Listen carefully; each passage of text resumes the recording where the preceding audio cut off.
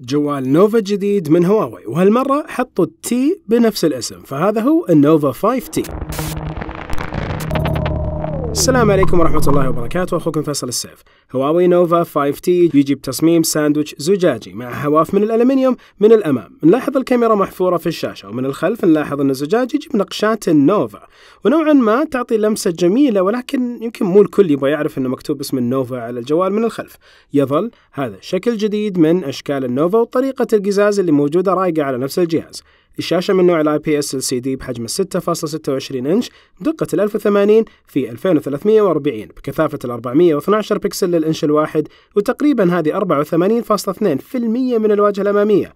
الجوال فيه أربع كاميرات خلفية أساسية بدقة 48 ميجا بكسل وفتحة عدسة 1.8 الثانية عريضة جدا بدقة 16 ميجا بكسل وفتحة عدسة 2.2 الثالثة كاميرا العمق ودقتها 2 ميجا بكسل بفتحة العدسة 2.4 الرابعة كاميرا الماكرو وهي متخصصة للتصوير المقرب وتجي بدقة 2 ميجا بكسل وفتحة العدسة 2.4 الكاميرات تمتلك فلاش ال LED وتدعم ال auto focus HDR وتصور حتى 2160 progressive و30 إطار في الثانية. الكاميرا الأمامية محفورة في الشاشة دقتها 32 ميجا بكسل وفتحة العدسة 2.0 في الصور العادية يقدم ألوان مرضية ولكن مائلة للبرودة نفس الشيء تقريبا في التصوير بالزاوية العريضة. وتصوير البورتريه يقدم أداء جيد جدا. جدا ولكن أحيانا في تفاوت في عزل الخلفيات وبرضه يتعرف على الأشخاص. برضه في التصوير الماكرو يقدم تجربة جيدة جدا وكثير هواتف تفتقر لهذه الميزة في نفس الفئة المتوسطة. شيء إضافي موجود في الكاميرات هو التصوير باستخدام الذكاء الاصطناعي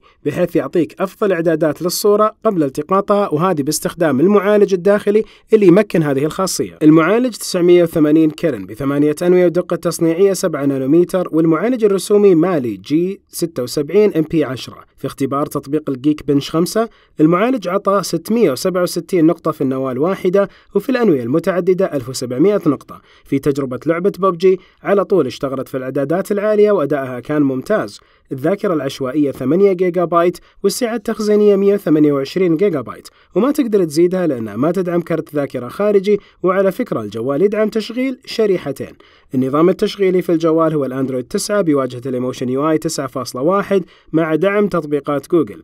برضو النظام يوفر اختصارات تعودنا عليها من هواوي زي النقر لالتقاط الشاشة وسحب شريط الاختصارات لتصغير الشاشة وغيرها. مستشعر البصمة مدمج في زر القفل ويقدم أداء ممتاز وبرضه يدعم فتح القفل باستخدام الوجه ولكن صورة مو 3D فما أنصح باستخدامها كشيء أساسي للأمان. الجوال يدعم بلوتوث 5.0 وتقنية ال NFC متوافق مع خدمة الدفع زي مدى Pay سعة البطارية 3750 ملي أمبير وتدعم الشحن السريع باستخدام تقنية ال Super Charge والشاحن السريع اللي يجي معاه بقوة 22.5 واط يشحن 50% خلال نصف ساعة تقريبا ولكن للتوضيح هي من صفر إلى 50% مو جوالك مثلا يكون 60% تحسب انه نص ساعة بينشحن كامل؟ لا هذه فقط للتوضيح. الصندوق يحتوي على غلاف شفاف شاحن سريع كيبل شحن سماعات أذن بمنفذ ال USB Type C هواوي Nova 5T بيتوفر بألوان الأرجواني والأسود والأزرق المشرق ومن ناحية السعر وتفاصيل الجهاز فحطيت لكم إياها في وصف الحلقة. الجوال تصميمه جميل وجودة التصنيع عالية وقدرت هواوي بال Nova توصل لجودة جدا ممتازة